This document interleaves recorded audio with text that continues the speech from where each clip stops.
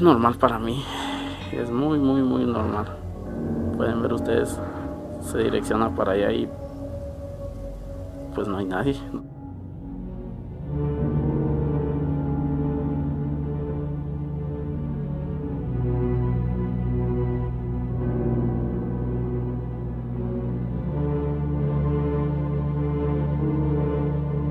Posteriormente en una foto familiar nuevamente aparece este anciano, ahora detrás de uno de sus hijos.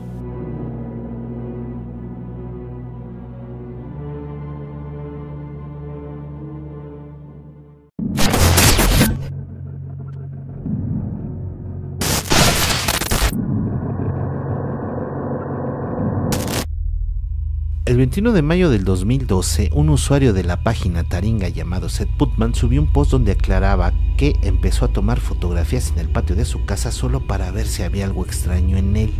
Jamás imaginó que su experimento daría resultado y que sus imágenes revelarían cosas totalmente aterradoras.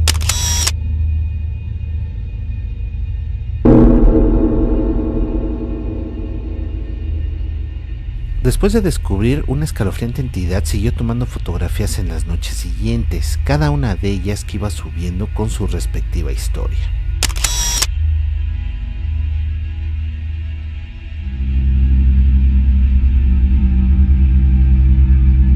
Mientras pasaban los días, las personas que visitaban su post le pedían evidencia de que fuera realmente él el que compartía las imágenes de su patio, y así lo hizo. Mientras tanto su madre se preocupó por lo que estaba pasando y quería salir con su hijo a comprobar su historia, pero ni ella se esperaba que algo aterrador apareciera junto a ella.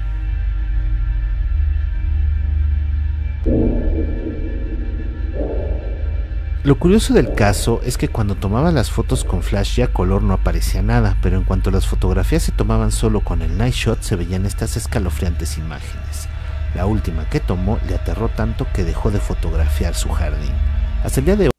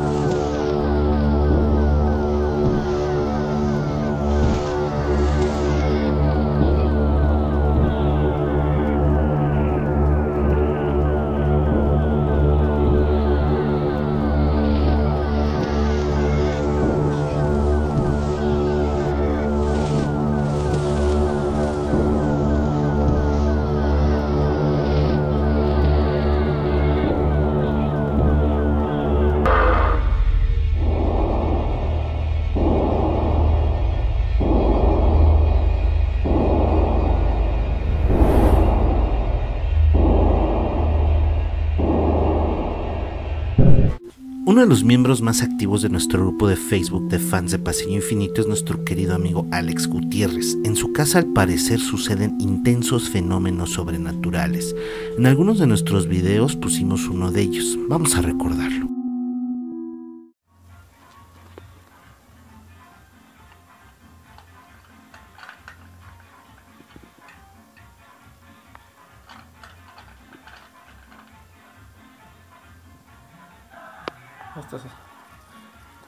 ¿Hay alguien aquí?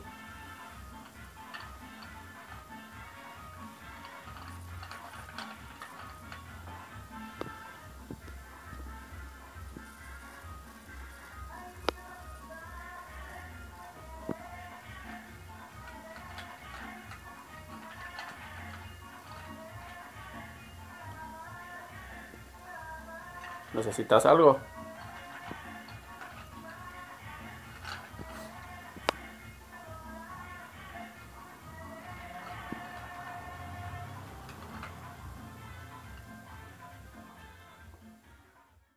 Cuando lo publicamos una de nuestras seguidoras nos comentó algo muy curioso. Nos decía que al parecer veía una mujer llorando en un minuto en específico en la pared.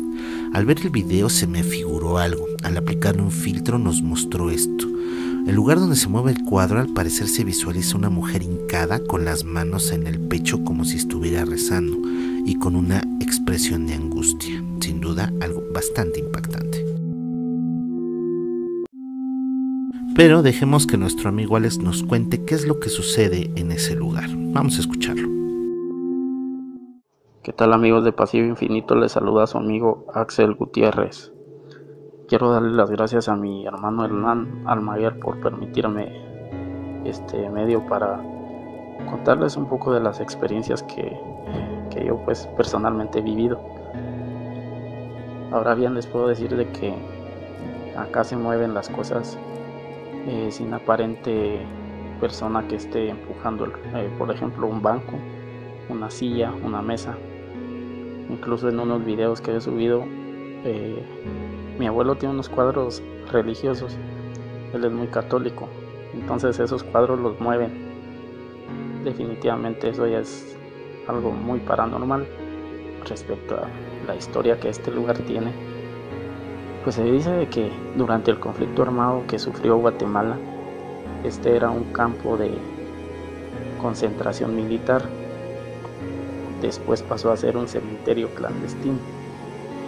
Tantas son las historias de este lugar que me quedaría con esa, de que es un cementerio clandestino. Según las investigaciones que he realizado, se dice que aquí tiraban muchos cuerpos de niños, mujeres indígenas, hombres de las tribus indígenas de, aquí de Guatemala.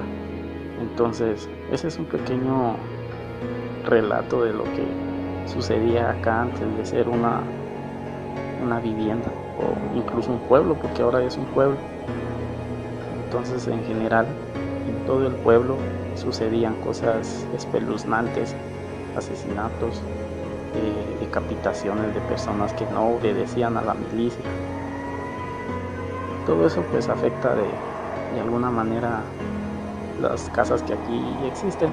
No solo es mi casa la que es víctima, podríamos decir, la familia mía de tantas cosas que suceden, sino que también los vecinos cuentan de que miran gente sentada en sus propiedades, incluso fantasmas de perros que, que son como el cadejo. En fin, son tantas historias. Ese es un pequeño relato, una breve historia de lo sucedido acá.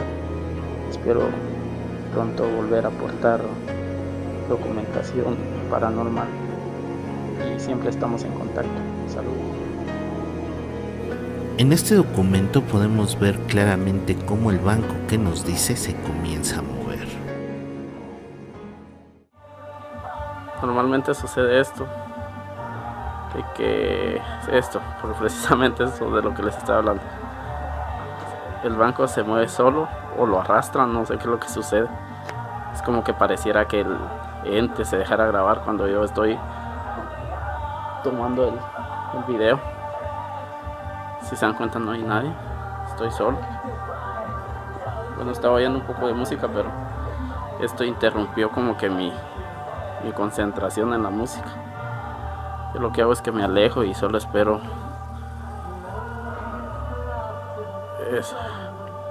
Bueno, esto ya es muy común. De hecho, este es el, el banquito que, más agarran para, para que sucedan estas cosas. Yo siempre me voy alejando. Me voy alejando de, de todo esto cuando veo que se acerca más y más. Como siento que, que peligra algo y esto es tremendo. Esto está tremendo. Esto es normal para mí es muy muy muy normal. Pueden ver ustedes se direcciona para allá y pues no hay nadie no, hay nadie como para decir lo están jalando de acá con algún hilo de hecho vamos a hacer lo siguiente. Creo que ya paró ya paró de moverse. Entonces voy a tomar el banquito. Voy a analizarlo con ustedes para que vean que no es no tiene nada no tiene ni siquiera un hilo una especie de imán que, con el que le puedan decir usted lo amarró y, pues lo jaló. El siguiente video es de lo más escalofriante, ya que no solo se mueven las cosas, sino que al parecer hay seres aterradores en esa habitación. Sin duda, algo que nos va a impactar por completo. Este es el documento.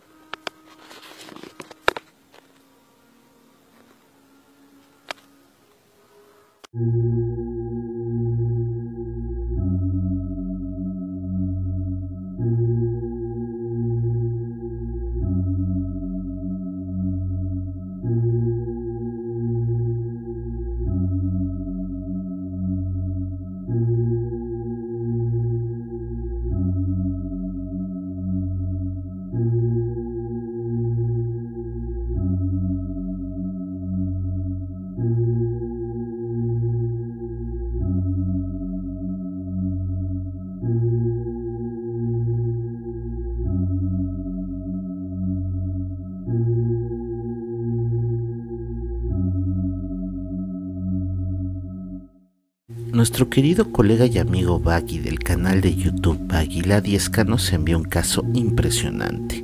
En una parte de México, un hacendado fue haciendo su fortuna a base de fraudes y estafas, adquiriendo tierra de las peores maneras posibles, llevándolo incluso al asesinato de los dueños. Fue tal su ambición desmedida que incluso mató a los hijos de los herederos que, siendo aún unos pequeños niños, los liquidó con una hazaña inimaginable. Con el paso del tiempo, los cultivos de esas tierras por las que cometió tantas atrocidades dejaron de darse, llevándolo a morir solo y en una absoluta ruina. Desde entonces se dice que esas tierras quedaron malditas. Los nuevos herederos, igualmente en la miseria, no les quedó otra que vivir en el lugar, pero comentan que era insoportable habitar ahí, ya que los asustaban constantemente. Así que le pidieron ayuda a nuestro amigo Baggy y a dos de sus colegas que son especialistas en este tipo de situaciones. Así que comenzaron a registrar lo que ahí sucedía. Mientras limpiaban la casa, en un vaso apareció el rostro de aquel anciano asesino. Vamos a verlo.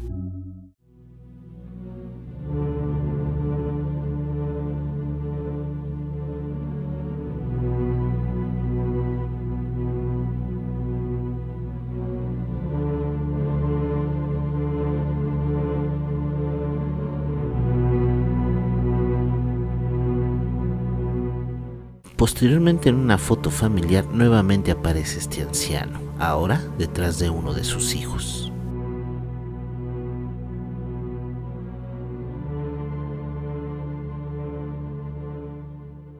Nuestro colega Baggy va a grabar en una zona donde comentan sucedían las peores cosas. Al dejar la cámara grabando registra unas voces de niños aterradoras. Vamos a escucharlas.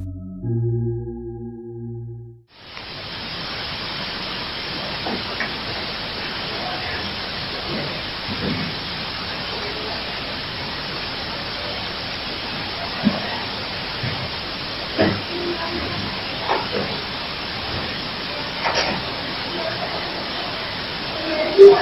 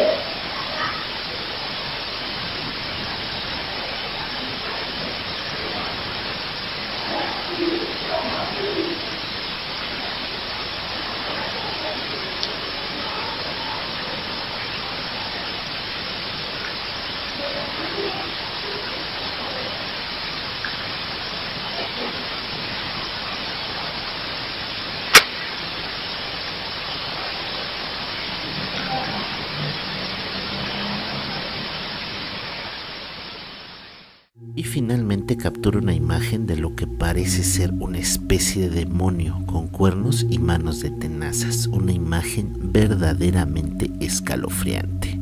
Este es el documento.